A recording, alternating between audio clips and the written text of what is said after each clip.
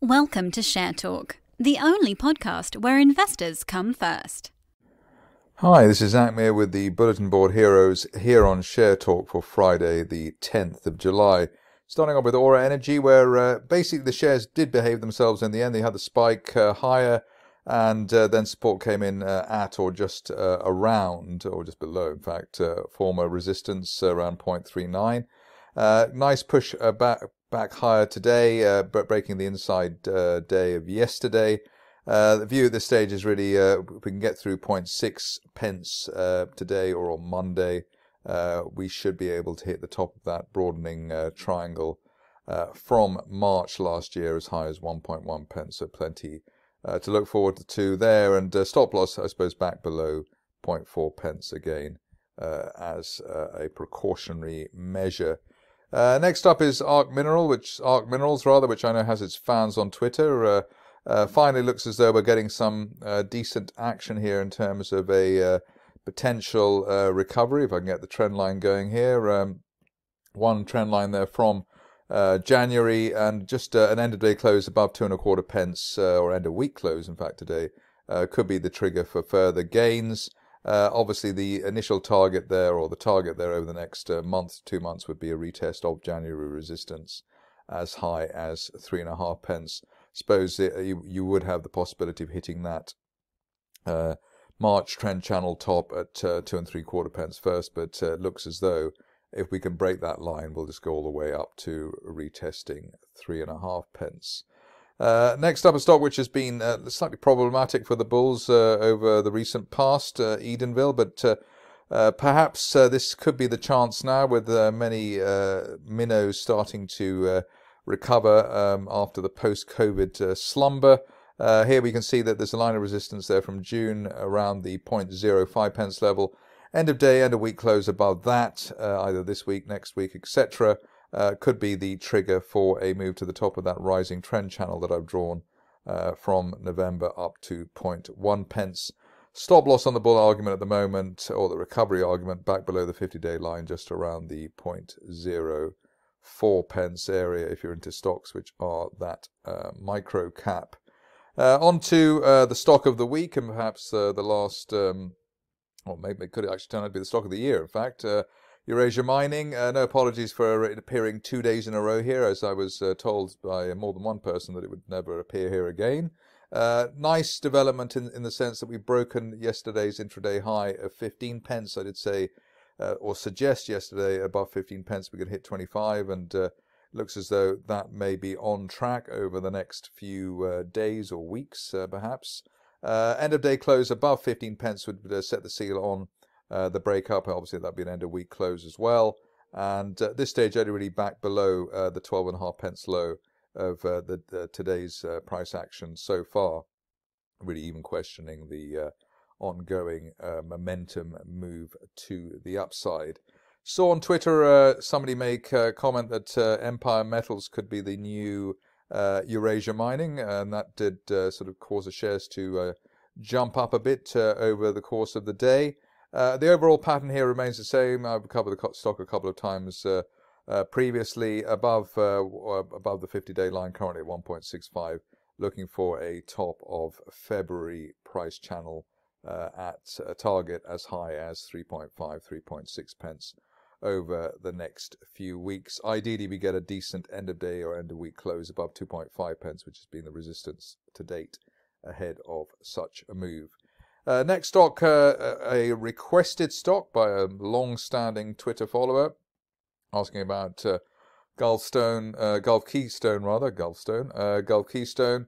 Here you can see really uh, quite simple resistance there at the one pound level and the shares backing off again from that one pound level. But RSI still around the neutral 50 level, and at least while we remain above the 50-day moving average at 86 pence, uh, there is the chance of uh, a break higher for the shares. Uh, we've got an uptrend line uh, from March running around what's that? The well, I suppose you could say it's the 50-day line level, and so therefore above that, the big picture target uh, as high as £1.30 at the top of that rising trend channel from March. Uh, but uh, if you are cautious, you'd wait for that uh, resistance line from June, just shy of a pound, to be broken Uh, on an end of day or end of week uh, close basis uh, before anticipating that £1.30 technical target. Haven't looked at independent oil and gas for a long time, but uh, the uh, Q is uh, today on the basis of this break of the near-term triangle from March. I suppose that's at what's that, at 12 pence or so. A nice strong daily candle today, and if we can close anywhere near the 13 pence mark, the next target for the shares would be the top of that March trend channel up to 17 pence, and hopefully much more after that, but let's get to 17 pence uh, first. Um, the next stock has been uh, all over Twitter in terms of people saying how wonderful it is, and uh, uh finally it looks as though uh, the price action may be catching up. We need to see uh, an end of day close or a weekly close above six and a half pence, that resistance line from February. If we can get that over the next day or week, then the target here would be the top of that March trend channel at uh, just shy of nine and a half pence over the following uh, few weeks. So looking quite interesting. Finally, for uh, Bluejay Mining, stop loss uh, back below the 50-day line and that uh, April support line. So from 5.8, 5.7 pence or so uh, downwards, depending on your risk appetite. Another request today from well from a, a follower, Maestrano Group a great looking chart at the moment. I think I've covered it before, but that uh, pullback uh, from the end of June was a little bit painful. Uh, but uh, an end of day, end of week close above uh, the initial July resistance at 6.78 pence could easily take the shares up to uh, the previously suggested target as high as 10 pence at that October resistance line projection. And in fact, the way things are looking, that could be the minimum on the upside uh, especially while we hold above 5.5%, 5.5 uh, pence, which is the current stop loss on the buy argument. Uh, if you're looking for uh, a play on gold and its uh, potential upside, maybe Scott's Gold uh, could be the one for you.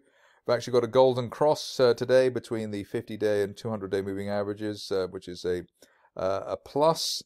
we've also, maybe more importantly, broken this line of resistance from October uh, at uh, what's that 70, 74 pence so above 74 pence on an end of day end of week close basis. Looking for quite significant upside top of that channel that I've drawn uh, from October heading as high as uh, one pound fifty. Uh, I suppose that's the two to three month target there for the shares this stage only really back but well below 70 pence really cancelling out the idea of a one pound fifty pence target there for uh, Scott Gold Finishing off with a stock which I was uh, slightly cautious on uh, yesterday, uh, trying to suggest that people don't get too excited about it uh, unless it broke uh, its 20 day moving average. That was broken quite nicely on an end of day close basis yesterday, and we've obviously rocketed ever since for Tomco Energy. current situation is that we're looking for, especially while we're above uh, the uh, initial July resistance of 0.79 pence, looking for uh, a retest of uh, last month's uh, peak at 2.3 pence over the next few weeks, or the, the, way things are going, the next few days. So let's see how that particular situation pans out. That's it from me today. More updates on Monday. Thank you for listening. Remember to visit our website for more news and other podcasts at www.share-talk.com.